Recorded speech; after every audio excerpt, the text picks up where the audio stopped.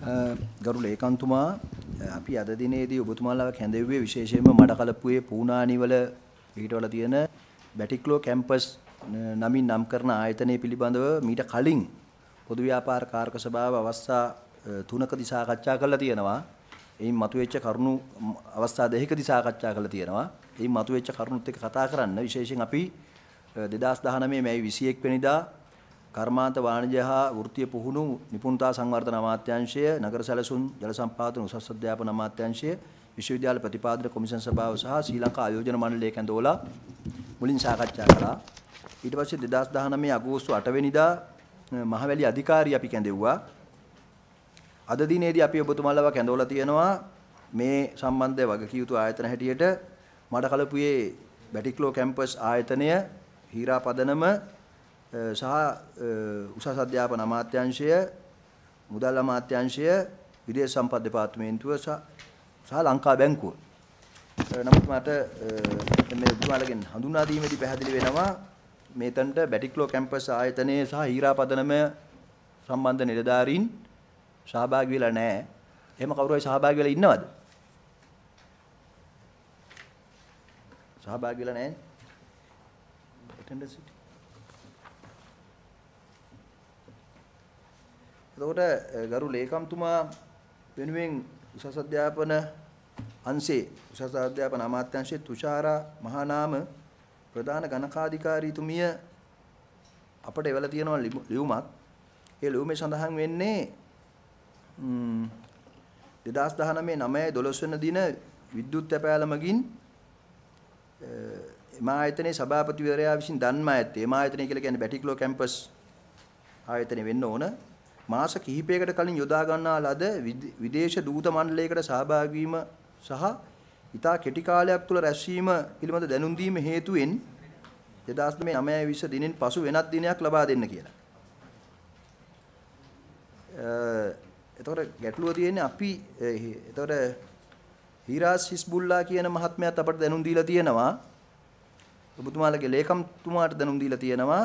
ඔහුට දැනුම් දීලා තියෙන්නේ Your notification for the meeting was received only on the 7th September 2019 and only five working days were given to us to attend the meeting which is very short notification for us to schedule and attend the meeting කියලා. නමුත් අපි දැන් ඔබතුමාලා මේ කියන විදිහට අපි තේරුම් ගන්න වෙන්නේ සැප්තැම්බර් 7 වෙනිදා ඒගලට දැනුම් දුන්නා කියලා. නමුත් අපි දැනුම් දීලා තියෙන ඔබතුමාලාට මේක සම්බන්ධයෙන්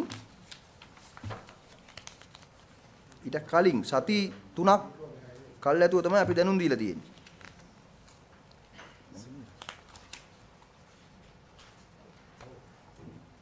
අපි අමාත්‍යංශයට දැනුම් දීලා තියෙනවා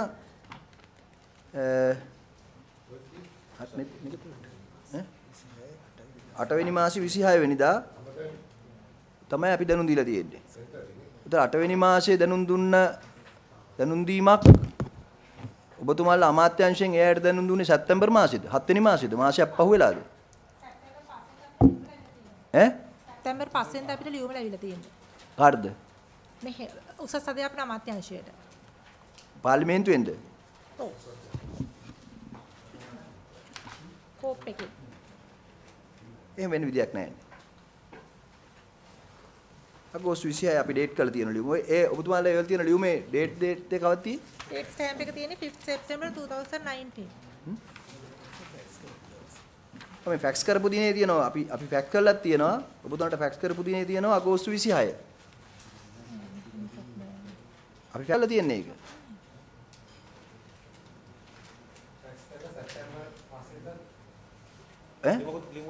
අපි ලියුම් යවලා තියෙනවා නෑ මං කියන්නේ. අපි ලියුම යවලා තියෙනවා අගෝස්තු 26. අගෝස්තු 26ම හවස 3යි 10ට අපි ෆැක්ස් කරලා තියෙනවා.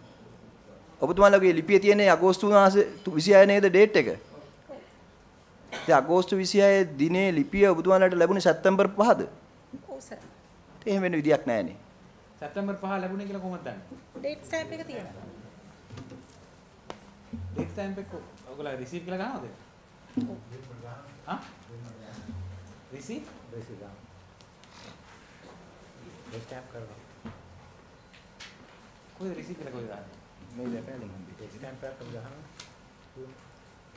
ටිකක් ලැබුණා. ඒ කියන්නේ ෆැක්ස් එක හම්බෙලා නැහැ කියලාද පුතුමාලා කියන්නේ? වෙන්න බෑනේ. මෙච්චර අගෝස්තු 26 අපි යවන ලිමක්. තැපෑලෙන් ඇරියත්. ෆැක්ස් එක ඩිලිවර්ඩ් කියලා දෙනවනේ. ෆැක්ස් මස් ෆැක්ස් එක එනවා ඩිලිවර්ඩ් ඩිලිවර්ඩ් ෆැක්ස් එක රිපෝට් එක ගන්නකො. හරි.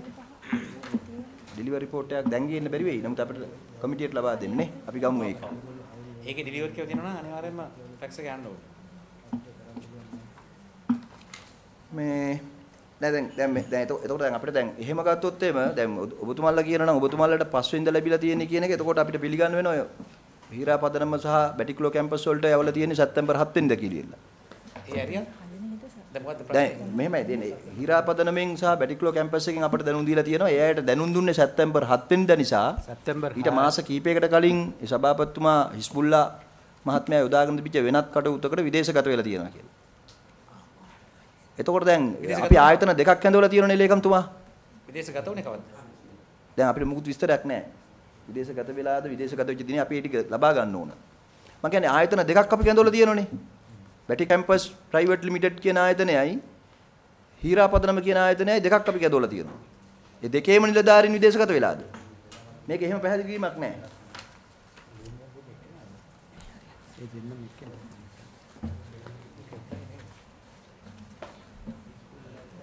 ඒ කම්පැනිෙන් හරි කවුරු එන්න සභාපතිතුමා. නෑ අපි අමන් අපිට ඒගොල්ලොන්ට යවන්න බෑනේ ඩිරෙක්ට්. අපි ඒගොල්ලෝ ආයතනයක් වෙනම අපිට අපිට තියෙන අමාත්‍යංශය හරහා යවන එක. අපිට ඒගොල්ලොන්ට යවන ක්‍රමවේදයක් නෑ. දැන් අමාත්‍යංශයට දැනුම් දීලා තියෙනවද මේ ආයතන දෙකේමයි විදේශගත වෙලා තියෙනවා කියලා? ඔව් සර්. කොහොමද තියෙන්නේ කියන්නේ? ගරු සභාපතිතුමනි මේ හිරා ෆවුන්ඩේෂන් එකේ වැටික්ලෝ කැම්පස් එකේ සභාපති ඒ දෙන්න ඉන්නේ එකේ. ඈ? ඒ සම්බන්ධය දෙන්නයි. සභාපති සහ හිරා ෆවුන්ඩේෂන් එකේ තියෙන්නේ එකම ෂෙයාර්ස් විදියට තියෙන්නේ අර ගියසෙත් අපි ඒක පැහැදිලි කරා. හරි. විදේශ ඒක අපි ලියුම යවලා තින්නේ අපිට ලැබිලා තින්නේ සැප්තැම්බර් 5. හ්ම්. ඊට පස්සේ අපි සැප්තැම්බර් 6 ලේකම්තුමාගේ අත්සනින් හිරාපදනමටයි වැටික්ලෝ කැම්පස් එකේ ටයි ලියුම යවලා තියෙනවා. ඒතකොට ඒගොල්ලෝ සැප්තැම්බර් 6 අපිට ඒක ගිහින් තියෙනවා. සැප්තැම්බර් 9 අපිට දන්වලා තියෙනවා එන්න විදියක් නැහැ කියලා. සැප්තැම්බර් 9 දන්වලා තියෙනවා එන්න විදියක් නැහැ කියලා. හේතුව හේතු විදියට දාලා තින්නේ අපිට අපිට බලන්න ලියුම කොපියක් ගන්න පුළුවන්ද? විදේශගත වෙනවා. මම මම අහන්නේ ආයතන දෙකේම අය එක්කෙනෙක් වුණා ඒ ඒ දෙපාර්ශ්වයෙන්ම විදේශගත වෙලාද කියලා. නෑ ආයතනයේ අපිට කවුද ඉන්න කට්ටිය කියන්නේ විශ්ව සභාපති සහ අධ්‍යක්ෂකවරු ඉන්නවා නම් අපිට අපි දන්නේ නැති ඉන්නවා. කලින් ඔබතුමාලා ගොඩක් ඔය සමය සාක්ෂි දීලා ඇති.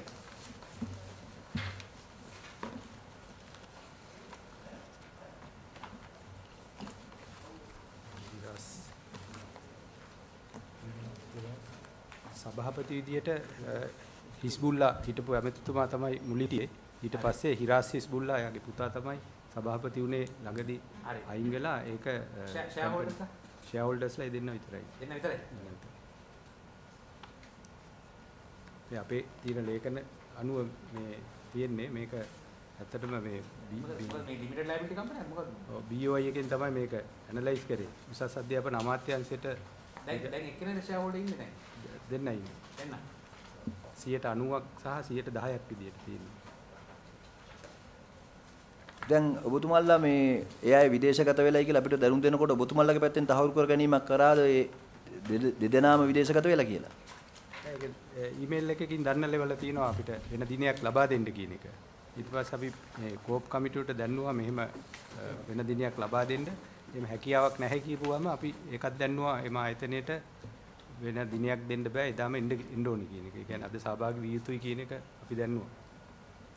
ඒකට ලැබිච්ච ප්‍රතිචාර මොකද්ද? ප්‍රතිචාරයක් ලැබුණේ නැහැ.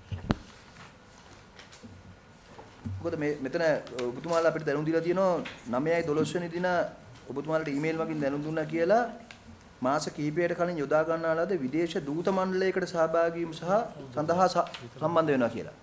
ඔව්. ඒක තමයි ලිපියේ ල- එතකොට අපිට පොඩ්ඩක් අ, ගරු ලේකම්තුමා ලබා දෙන්න ඒ අය සහභාගී වෙච්ච විදේශ දූත මණ්ඩල රැස්වීම මොකක්ද? ඒක මේ අපි දැනුම් දුන්නට පස්සේ කලින් යොදාගත්ත කටයුත්තක්ද කියලා. නේ? අපි ඒක දැනගන්න එක හොඳයිනේ. අපිට අපිට කෙලින්ම දැනුවත් කරන්න බැහැ සභාපතිතුමා. දැන් මේ මේ මෙතුමන්ලට මේ අදාළත්වයකුත් නැහැ නේ මේකට මේ ඒ no මේකේ අපි දැන් මේ ආයතනය. සම්බන්ධ එතුමන්ලට මෙතුමන්ලට බයින්ඩින් ගන්න නැහැ. it's just actually communication විතරයි මෙතුමන්ලයින් වෙන්නේ කෝපරේටිව් කමිටුවට කෙලින්ම ඕනම අපි කැඳවමු නේද? අපි කෙලින්ම කැඳවන්න that's a ආයතනය පිළිගන්නේ නැහැ uh, better හ්ම්? අපේ ආයතනය පිළිගන්නේ කියලා ලියලා තියෙනවා. ඒක තමයි can can Can we go? we can can department can call anybody. UGC එකට Under- සම්බන්ධ. BOI එකට සම්බන්ධ මහවැලි අධිකාරියට සම්බන්ධ වෙච්ච related matter එකේ main issue එකේ ඒක එයා. ඒතර ඒක නිසා අපිට කැඳවන්න we පුළුවන්. can call anybody. But එක the- තීරණය කරනවා නම් අපිට කැඳවන්න පුළුවන් ඕන public servant and the private citizen. But we can call. අපි direct කැඳවමු. Yeah, අපිට දැන් දිනේ දැනගන්න වෙන්නේ කොහොමද ආයේ මේ? මේ මේක ඔබතුමා මේක දාලා මේ මේ ලියුමට අනුව මේ ලියුම මෙතුමන් ඉදිරිපත් කරා සභාවට. ඒ අනුව මේකට නිදහසට කරුණු සහ කෝප් කමිටුවෙන් කැඳවීමක් කළා තියෙන්නේ මෙතුමන්ලා හරහා සියලුම තොරතුරු මෙතුමන්ලාගේ දූත මණ්ඩල මේ තොරතුරු ඇතුළ උතුරත් සියල්ල දිනයක් ඇතුළත කෝප් කමිටුවට වාර්තා කරන්න ඒ අනුව අපිට අද දිනයක් ෆික්ස් කරලා එයාට දැනුම් දෙන්න ප්‍රායෝගිකයි නේද? ප්‍රායෝගිකයි. ක්‍රමයක් නැහැ. යා 20 20 එනවා කියන්නේ මේගොල්ලෝ මේගොල්ලෝ 20 එන්නේ 20 නෙන්නේ. 20න් පස්සේ අපි ඊළඟ පළවෙනි දවස් දාමු නේද? එතකොට ඒවත් අරගෙන ඉන්න කියලා දාන්නේ මේ ලිඛිතව. දූත මණ්ඩල විස්තර සමගව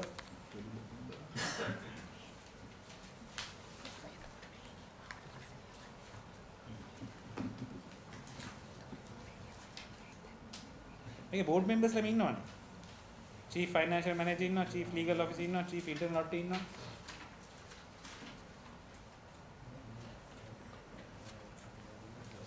මේ මේ තියෙනවනේ. මේ තියෙන්නේ මේ ඔයගොල්ලෝ රියුමක් තියෙන්නේ. අපි අ, ගරු මන්තුමා අපි විදුලි බල මණ්ඩලෙත් සභා මේ ලේකම්තුමා අමාත්‍යංශ ලේකම්තුමා නැහැ කියලා ඊළඟට කල් දාලා තියෙන්නේ 8 වෙනි 10 වෙනි මාසේ 8 වෙනිදාට. අපි ඒක එහෙමම කැඳවලා 9 වෙනිදාට තියෙනවා අපිට ලොතරැයි මණ්ඩලේ ලොතරැයි මණ්ඩලේ වෙනස් කරලා අපි කැඳවමු නේද? ඔව්. දැන් ලොතරැයි මණ්ඩලේ වෙනුවට අපි 10 වෙනි මාසේ 9 වෙනිදා කැඳවනවා. ඒතර ගරු ලේකම්තුමාත් දම- අමාත්‍යංශේ සහ අද සහභාගී වෙන නිලධාරීන්ගෙන් අවශ්‍යය අපේ සාකච්ඡාවෙන් පස්සේ අවශ්‍යය අපි කැඳවමු. 10 වෙනි මාසේ 9 වෙනිදා. එදාට විශේෂයෙන්ම හිස්බුල්ලා අ, මහතාත් ඒ ආයතන නිලධාරීන් සහ විශේෂයෙන්ම මේ දූත මණ්ඩල ආරාධනාවක් තිබුණද? ඒ ආරාධනාව නිසා විදේශගත වුණේ කවදද? අ, කියන කරුණුත් සහිතව එම ආයතන දෙකම බැටික්ලෝ කැම්පස් ප්‍රයිවට් ලිමිටඩ් ආයතනය සහ හීරා පදනම කියන ආයතනය දෙක අ, ඒ නිලධාරීන් කැඳවමු. සපෝට් දැන් මේ බෝඩ් මෙම්බර්ස්ලා චීෆ් ෆයිනෑන්ෂල් මැනේජර් මේගොල්ලන්ට දැනුවත් කරලා තියෙනවනේ මේ එන්න කියලා මේගොල්ලෝ ඇවිල්ලත් නැහැ මෙතුමන්ලගේ ඔබතුමාගේ ලියුමෙන් මෙතුමන්ලා ලියුමෙන් දැනුවත් කරලා තියෙනවා Uh, further request to inform the following members of. Particular Campus Private Limited and Hira Foundation to be present before the committee. Board members, Chief Financial Manager, Chief Legal Officer. එතුමන්ලා එන්න තිබ්බනේ. එතුමන්ලටත් ඔබතුමා දැනුවත් කරන්න ඕනේ. ඇයි- ඇයි සහභාගී නොවුනේ ඉඳලා ඉඳලා රටේ ඉඳලා සහභාගී වෙන්නේ නැත්තේ ඇයි කියලා. දැන් මේකේ පිටරට ගිහිල්ලා තියෙන්නේ අප- අපිට මේ ලේකම්තුමා මේ මේ ඔබතුමාලා යොමු කරපු ලිපියේ පිටපතක් ලබා දෙන්න. ඒතකොට ඒ ඒ ඉන්න නිලධාරීන් සියලු දෙනාටම අපි කැඳවමු. මේ දෙකේම. ඔව්. එතකොට මේ මෙතුමන්ලා කෝප් කමිටුවට අපි අපි කැඳුවේ මේ චෑමන් විතරද කැඳුවේ කලින්? නෑ නෑ නෑ අපි ආයතනය කැඳවනවා. ආයතන කැඳුවේ. ආයතනයේ ඒතර මෙතුමන්ලා- ආයතනයේ සම්බන්ධ නිලධාරීන්. මෙතුමන්ලා අනිවාර්යයෙන්ම එන්න ඕනේ. නොපැමිණීමට නිදහසට හේතුත් එක්ක එතුමන්ලට සම්බන්ධ වෙන්න කියලා ඔබතුමාගේ නියෝගයක් අවශ්‍යයි. ඊළඟ දිනේදී. අපි ඔය ඔය පිටපතක් අරගන්න ඔය පිටපතේ ඉන්න නිලධාරීන්ට අදාළව සියලු දෙනාම සහභාගී වෙන්න කියලා දැනුම් දෙන්න. ඒ දැනුම් දීමට අදාළව මේ අද දිනේ නොපැමිණීම සම්බන්ධයෙන් ලිඛිතව හේතු පැහැදිලි කිරීමක් සහිතව කැඳවමු. නිදහසට කරුණු. show cause. සුජිය මන්තුවා නීති අනුකූලව. ඊට පස්සේ මම ගරු මන්ත්‍රීතුමාලගේ අවධානය යොමු කරනවා ඔබතුමාලට ලේඛනයක් අපි ඉදිරිපත් කළා තියෙනවා. ඒ ලේඛනයේ තියෙන විශේෂයෙන්ම මේ මේ ආයතනයේ මීට කලින් සාකච්ඡා කරද්දී ආයෝජන මණ්ඩලය යටතේ ලියාපදිංචි කිරීම පිළිබඳව කරුණු පැහැදිලි කරගත්තා. ඒ වගේම මහා මහවැලි අධිකාරිය විසින් මේ ඉඩම් නිකුත් කිරීම පිළිබඳව කරුණු පැහැදිලි කරගත්තා.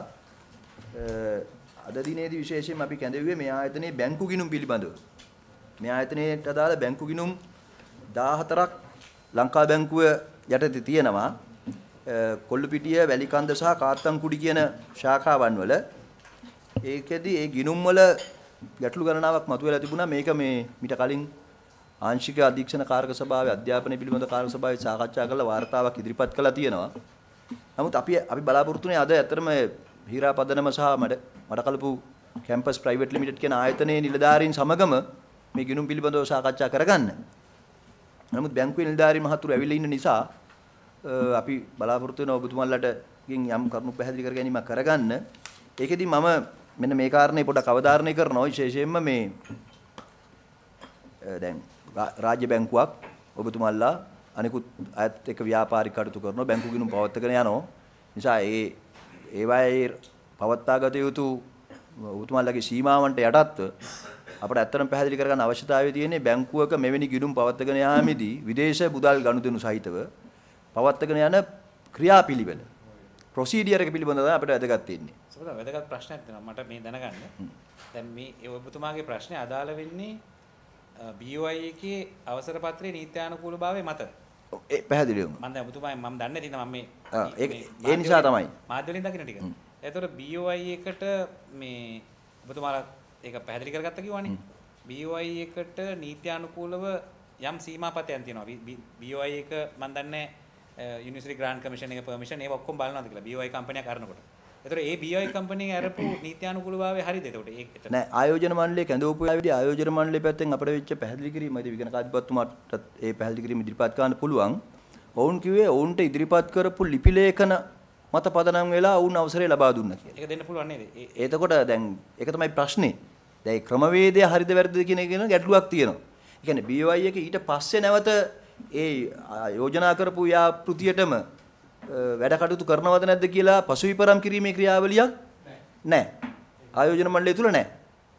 අපිට අවසර පත්‍රය ඉදිරිපත් කළා අ, පවත්වාගෙන යන ව්‍යාපාරයට වඩා වෙනස් විදියට. දැන් උදාහරණයකට මතුවෙච්ච ගැටලුවක් තමයි එදා හැබැ- හැබැයි තියෙනවා. මේ මම මේ ඒක තමයි උදා හිටපු ඇමතුමා ඇටියට තියෙනවා. ඒගොල්ලන් මේ විෂයපතෙන් වෙනස් වුණොත් ඒගොල්ලන් දැනුවත් කරනවා මේක අපි කැන්සල් කරනවා කියලා විෂයපතෙන් වෙනස් වෙනවා. එහෙම දැනුවත් කිරීමක් කළා නැහැ. හැබැයි වෙන ඒ වෙනස් කිරීම BO එකට දැනුවත් කරලා තියෙනවද? ඒක ඒක ඒකත් ප්‍රශ්නයක්. එතන ප්‍රශ්න දෙකක් තියෙනවා. මොකද ඒගොල්ලන් දිගින් දිගටම ඒගොල්ලන් හොය හොය ඉන්නේ නැහැ. බල බල ඉන්නේ නැහැ. ඔව් දැනුවත් කරොත් තමයි ඒගොල්ලන් දන්නේ. දැන් ඊළඟට ඊළඟට ගැටලුවක් මතුණා දැන් ඒ අයට ඉදිරිපත් කළ තිබිච්ච ආයෝජන ප්‍රමාණයට වඩා විශාල ආයෝජන ප්‍රමාණයක්. සත්‍ය ආයෝජන ප්‍රමාණයට ඇවිල්ලා තියෙනවා. ඒතර ඒ ආයෝජන මණ්ඩලයේ පැත්තෙන් ආව පැහැදිලි කිරීම තමයි එහෙම එන්න පුළුවන්. ඒක ගැන අපිට වගකීමක් නැත කියන අදහසින් තමයි මම කියන්නේ මම මේ මට පොදු අදහස ඉදිරිපත් උනේ. නේද? මොකද ආයතන වෙනස්නේ ආයතන වල පරමාර්ථය වෙනස්නේ. එතකොට මේ BOI එකේ ආයතනය ඉන්වෙස්ට්මන්ට් ගෙන ගැනීමනේ. එතකොට ඒක වෙන වෙන නීති වලට යන්නේ නැහැ. මම ඒක යහන්නේ. එතන එතකොට අපේ BOI එක නීත්‍යානුකූලව ඒ කටයුතු කරලා තියෙනවා නම් එතනින් එහාට මේ බැංකුවටත් යම්කිසි ආකාරයක නීත්‍යානුකූල භාවයක් එතන ලැබෙනවා. නෑ BO එක දැන් BO එකේ ප්‍රොසීඩියර්ස් අනුව කටයුතු කරලා තිබුණේ නේ. ඒක තමයි. ඒක තමයි මම ඇහුවේ. ඒක දැන් මට ඒක හරි. පැහැදිලිතුමාගේ. ඒක හරි. එතකොට යම්කිසි එකක් බැංකුවට බැංකුවටත් ලැබෙනවා. බැංකුවටත් එන්නේ නිකන් පෞද්ගලික පුද්ගලෙක් ඇවිල්ලා ආයෝජනයක් කියනවා වගේ නෙමෙයි. BY අප්‍රූවල් එකක් ඇතුව තමයි බැංකුවට එන්නේ. එතනින් එහාට තමයි බැංකුව ක්‍රියාත්මක වෙන්නේ. එතකොට එතනින් එහාට අපිට බැංකුවෙන් අහන්න පුළුවන්. එතකොට නීත්‍යානුකූල භාවය තුල ඒක හරි. ඒක හරි. එතකොට මෙතන ගැටලුව තියෙන්නේ ආ, ලංකා බැංකුවේ සභාතුමා ඔබතුමාට හෝ ඔබතුමාගේ නිලධාරීන්ට පැහැදිලි කරන්න පුළුවන්. දැන් නීත්‍යානුකූලව ස්ථාපිත වෙලා තියෙන සමාගම් රෙජිස්ට්‍රාරය යටතේ ලියාපදිංචි වෙලා තියෙන්නේ මඩකලපු කැම්පස් පුද්ගලික සමාගම කියන නම. මඩකලපු යුනිවර්සිටි කොලේජ් යන නාමයක් භාවිතා කරලා මේ- නේ එහෙම නේද? ම- ඈ තවත් සමාගම් අ, මේ නම් පහකින් ගිනුම් ප- වර්ග ව- ගණනාවක් මේ එකම කාර්යයට පවත්වාගෙන ගිහිල්ලා තියෙනවා. උදාහරණයක් ගත්තොත් university college Batticaloa distance learning centre university college Batticaloa Kattankudy campus university college Batticaloa machinery accounts university college Batticaloa කියලා වෙනමම ගිණුමක් Malik Abdullah bin Abdul Aziz university college Batticaloa කියන නමිනුත් ගිණුමක් තියෙනවා. ඒතර දැන් අපිට ඒව ලියාපදින්ද? ඈ ඒව ලියාපදින්ද? ඒක තමයි අපිට තියෙන ප්‍රශ්නේ. දැන් ඒවයි ඔබතුමාලා මේ ගිණුම ආරම්භ කරනකොට මේවයි ලියාපදිංචි සහතික ලියාපදිංචිය තහවුරු කරගත්ත සාක්ෂි තියෙනවද?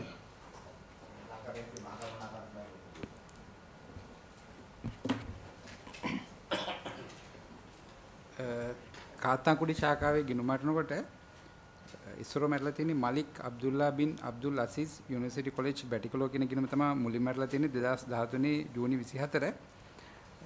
ඒ ඇරලා තියෙන්නේ අවබෝධතා කිසුමක් අත්සන් කරලා තියෙනවා මේ ආයතනය. ඒ ආයතන ලිබා ලියාපදින්චිද?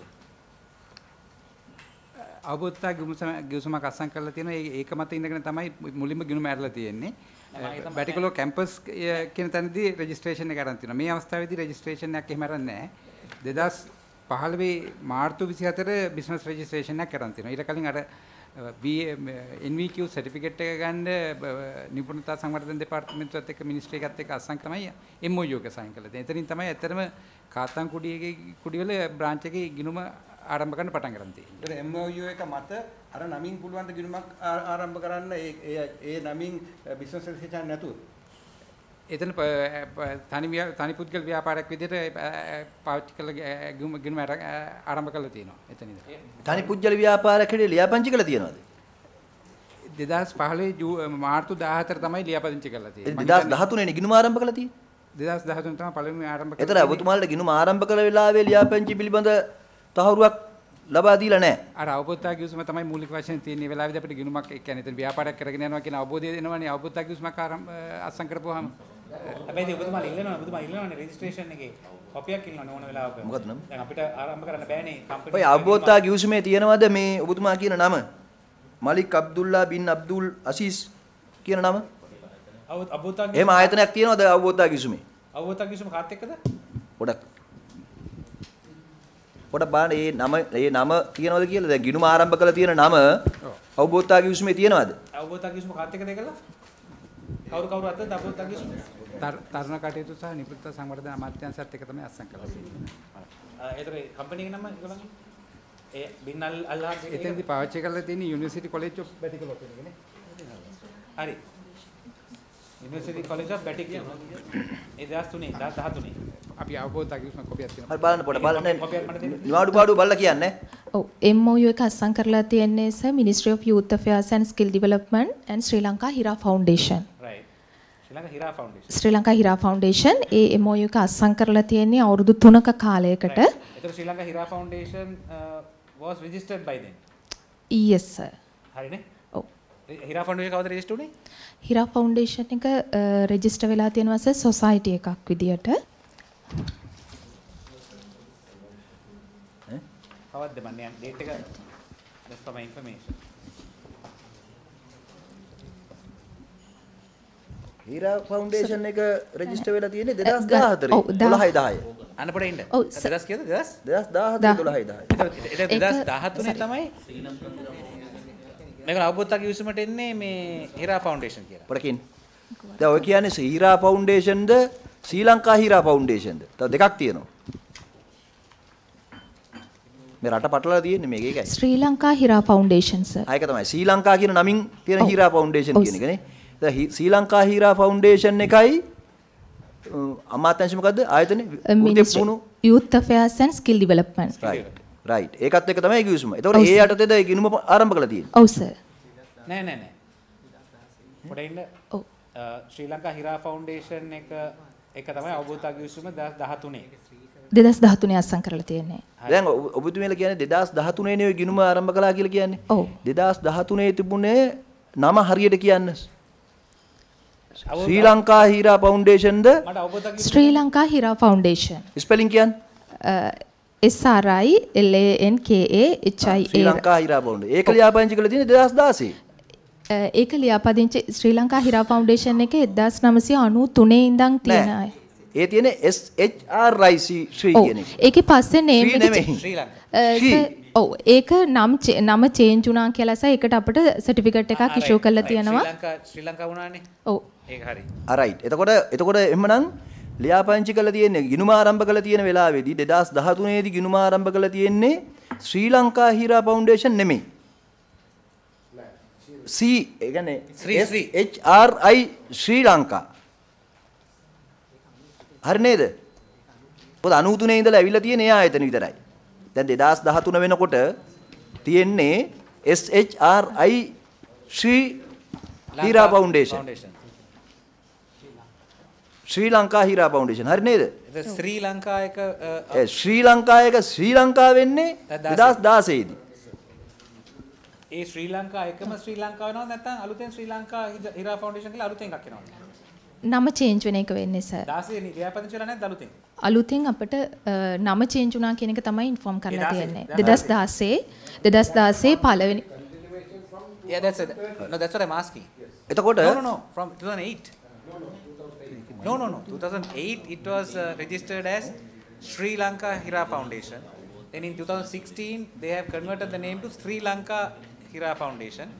So 2013 they have signed as Sri Lanka. 13 අත්සන් කරලා තියෙන්නේ බෝතක් විසු මේක නේද මේ තියෙන්නේ? 2013 අස්සම් කරලා තියෙන්නේ. ඒක ශ්‍රීද ශ්‍රීද? ඒක ශ්‍රී ශ්‍රී. හරියට බලන්න. ඒක ශ්‍රී ලංකා SRI. එතන ඒක බෑනේ. එතන එහෙම ආයතනයක් නැහැ. ඒක නම නම මාරුනේ 2016. ඒකයි මං ඇහුවේ. දැන් මේ ප්‍රශ්න නෙවෙයි SHRI එකේ අරක තිබුණ එක එකට සම්බන්ධ වෙලා අපිට මේ වෙනස් වෙන්නේ කවද්ද වෙනස්ලා තියෙන්නේ 16. 2008 පටන් ගත්ත එක ඔයගොල්ලන්ට 2010 16 ඔයගොල්ලෝ වෙනස් කරන්නේ නැත්නම් ඊට කලින්. හරි මම ඔබතුමා ප්‍රශ්නට උත්තර දෙන්නද? ඔය ඊළඟ ඊළඟ ඊළඟ ප්‍රශ්නේ ඒකත් මේ- එක්ක බලන්නේ 2013 එතකොට ගිනුම ආරම්භ කළා තියෙන්නේ අවබෝධතා කිවිසුම අනුව නම් ආරම්භ කරන්න ඕන ශ්‍රී ලංකා හීරා ෆවුන්ඩේෂන් කියන ආයතනයට ගිනුමක්. එතකොට මේ Malik Abdullah bin Abdul Azeez කියන නමට කොහොමද ගිනුමක් ආරම්භ වෙන්නේ? සභාපතිතුමා ඔබතුමා අවධානයට 2016 තමයි ශ්‍රී ලංකා කියලා නම මාරු වෙන්නේ. ඔව්. හැබැයි මේ අවබෝධතා කිවිසුමේ තියෙන්නේ ශ්‍රී ලංකා ඔබතුමා කියන SRI. ඔව්. ඒක තමයි මෙතන මේ නම මාරු වෙච්ච නැති මේ ආයතනයකට තමයි මේ අවබෝධතා කිවිසුම අත්සන් වෙන්නේ. හරි ඒක ඒක දැන් පැහැදිලිනේ. ඒක එක කාරණාවක්. එක් කාරණා. ඊට පස්සේ ඊළඟට ප්‍රශ්නේ වෙන්නේ- කිවිසුම ඇරෙන්නේ වෙනම වෙනම. ගිනුම ආරම්භ වෙන නම. ගිනුම. ඒක අවබෝධතා කිවිසුමේ තියෙන නමක් නෙමෙයිනේ. ඒ ඔබතුමාලා කිව්වනේ නෑ මම කියන්නේ ඔබතුමාලගේ ප්‍රශ්නයක් නෙමෙයි මේක අහන්නේ. ඔබතුමාලට තියෙනවා නම් කියන්න. ඒකෙදි සර් වෙලා තියෙන්නේ Malik Abdullah bin Abdul Aziz university college Batticaloa කියන ලෙටර් හෙඩින් එක යටතේ.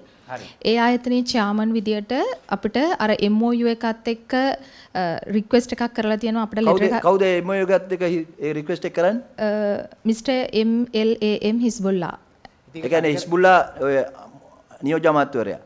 ඔව් සර් එතකොට ඒ එතකොට එයා කියනවද මේ නමින් ගිනුම ආරම්භ කරන්න කියලා? ඔව් සර් ඒ රික්වෙස්ට් ලෙටර් එක තියෙනවා කොයි කොයි නමින්? Malik Abdullah bin Abdul Azeez තනිකර වැරදින එක. ටොට ටොට ලිලී කරන්නේ. චෑමන් කෙනෙක්ට පුළුවන් ද ඕනම ආයතනයකින් ලියුමක් කියවන්න මම මේ ආයතනයේ චෑමන් කියලා මෙන්න මේ නමින් ගිණුමක් ආරම්භ කරන්න කියලා කියන්න පුළුවන්ද? ඒ උතන තමයි ඔබතුමාලා ඔබතුමියලා ගන්න නැහැ වැලෙන් වැලට ගන්නේ. පළවෙනියෙන්ම ශ්‍රී ලංකා කියලා එක ඔබතුමාලා 2008 ඉඳලා ආයතනයක් එනවා. ඊට පස්සේ 2013 ශ්‍රී කියලා ලියාපදිංචි නම මාරු නොකර අවබෝධතා කිවිසුමක් ඉදිරිපත් කරනවා. අවබෝධතා කිවිසුම අනුව ඔබතුමියලා ඒ අවබෝධතා කිවිසුම ඔබතුමාලා ගන්නේ අර චෑමන් කෙනෙක් විතරයි.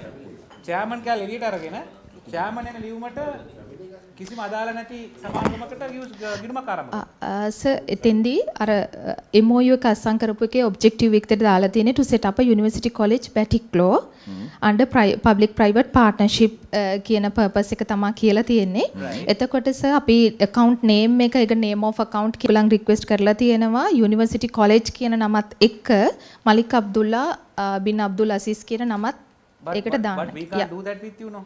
If I want to open account under some other name, American uh, Donald Trump කියලා account එකක් අර ආරම්භ කරන්න කිව්වොත් ඔබතුමාලා අපිට ආරම්භ කරන්නේ නැහැ.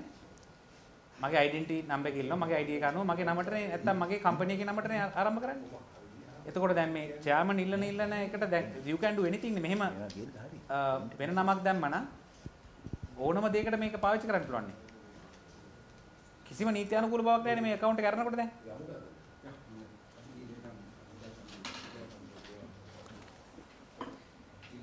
අපිට කොච්චර අමාරුද account එක කරගන්න ඕගලෙන්. ඊළඟට අපි අපි ඔ- ඔ- දැන් දැන් දැන් මම කියන ඔබතුමා අපි මේක පැහැදිලි කරගන්න මොකද මේක පැහැදිලි කරගන්නේ ඔබතුමාලගෙම විතරක් නෙමෙයි. ඔබතුමාලාට තියෙන මේක ඉදිරිපත් කරපු ලිපි ලේඛන අනුව අපට පේනවා ඉතා පැහැදිලිව මේ බැංකුව විශ්වාසය මතනේ කටයුතු කරන්නේ. එතකොට මේ නියෝජ්‍ය අමාත්‍යවරයෙක් අ, එයා ලෙටර් හෙඩ් එකේ ලියලා දෙනකොට අ, බැංකුව කටයුතු කරලා තියෙන වෙලාවේ. ඒක මම කියන්නේ නැහැ නිවැරදි කියලා.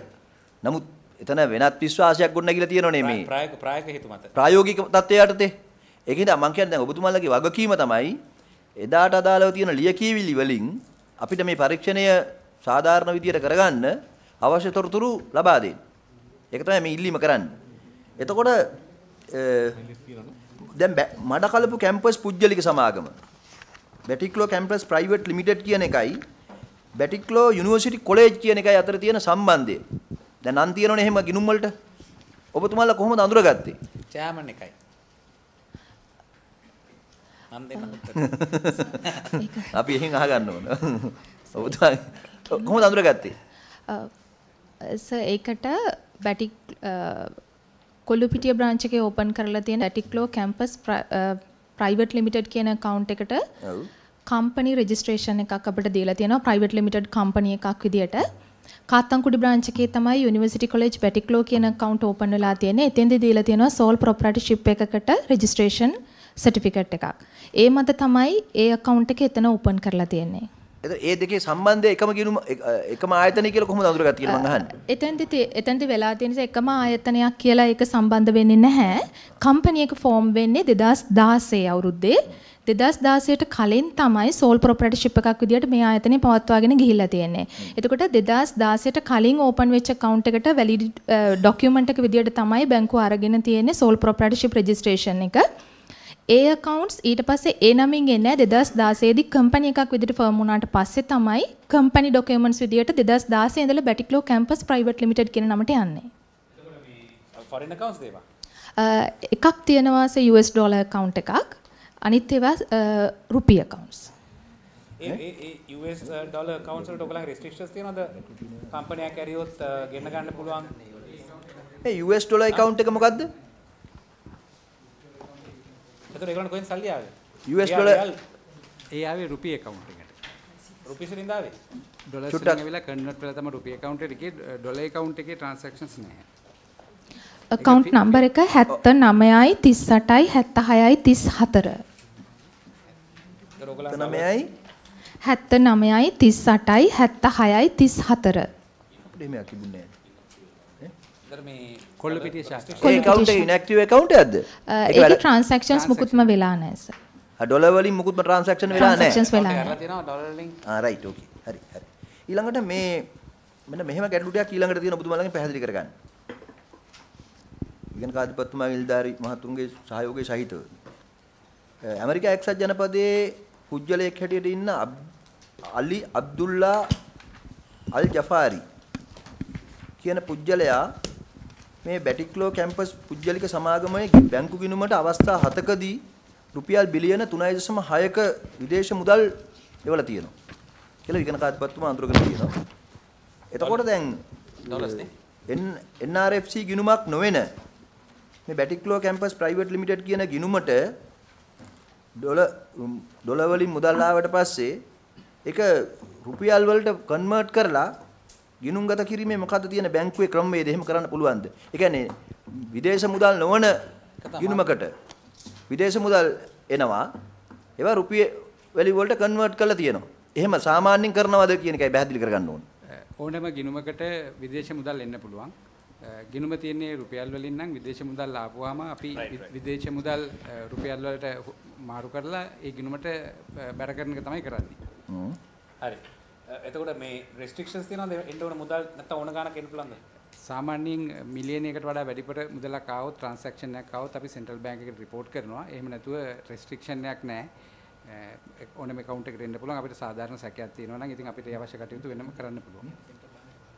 මොකද දැන් මේ අලි අබ්දුල්ලා අල් ජෆි ජුෆාලි කියන පුජ්‍යලයා එවන මේ විදේශ මුදල් ඔක්කොම පර්සනල් ට්‍රාන්ස්ෆර් කියලා හැටියට තමයි එවලා තියෙන්නේ. මේක රීසන් එක උදලා තියෙන්නේ ඒ ආකාරයෙන්. පෞද්ගලික මාරු කිරීම හැටියට. ඒ මුදල් එවපු ඒ මුදල් හත් පාරම එවලා තියෙන්නේ සිටි බැංක් එක හරහා හ්ම්? සිටි bank, බැංකුව City bank හරහා තමයි මුදල් අපිට ලැබිලා තියෙන්නේ. ඔව්. එතකොට සාමාන්‍යයෙන් සිටි බැංක් එක HSBC බැංක් එක වගේ රෙපියුටඩ් බැංක් එකක් කරා එනකොට මේ මුදල් ක්ලීන් මනි කියන විදිහට තමයි අපි සලකන්නේ. අ, එතකොට මේ ස්විෆ්ට් මැසේජ් තමයි තියෙන්නේ රෙමිටන්ස් ඉන්ෆර්මේෂන් කියන තැන තමයි පර්සන් ට්‍රාන්ස්ෆර් කියලා දාලා තියෙන්නේ. සාමාන්‍යයෙන් මේක මැන්ඩේටරි ෆීල්ඩ් එකක් නෙවෙයි. අ, මෙතන සාමාන්‍යයෙන් අ, මුදල් ලැබෙන එක්කනට දැන ගැනීම පිණිස මේ වගේ ඉන්ෆර්මේෂන් එකක් දානවා. නමුත් අපි මෙතෙන්දි සැලකිලිමත් වෙන්නේ මුදල් ඔ, මොන බැංකුව හරහා දෙන්නේ කියන එක තමයි විශේෂයෙන්ම. හරි පැහැදිලි. එතකොට දැන් ඔබතුමාත් කලින් පැහැදිලි කළා මිලියනයට වඩා වැඩි නම් ඒවා. සෙන්ට්‍රල් බැංක් එකේ බුද්ධි ඒකකයට දැනුවත් කරනවා කියලා. දැන් මේ පිළිබඳව දැනුවත් කිරීම කරාද එතකොට? දැනුවත් කළා. කවදද දැනුවත් කරේ? ඒ සාමාන්‍යයෙන් සති දෙකකට සැරයක් report එක යනවා මේ මුදල් ආවට පස්සේ ඊළඟ ඊට පස්සේ තියෙන reporting date එකට report කරනවා ඒ ඒකේ 2016 3යි 4නේ මුලින්ම එන්නේ. 2016 3යි 4 ඔව් 2016 3යි 4න් ආවට පස්සේ සත් දෙකකින් පස්සේ දැනුවත් කරාද? සති දැනුවත් කළා දී. තියන හරිද? ඔව්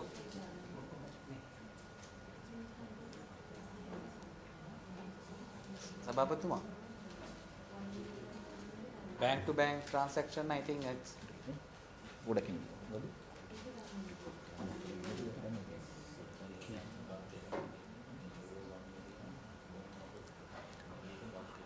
හා හරි ඒක ඕව 1 මිලියන් ආපු ඔක්කොම බල්කයක් හැටියට තමයි දැනුම් දෙන්නේ. ඒක මේක විතරක් කියලා නෙමෙයි.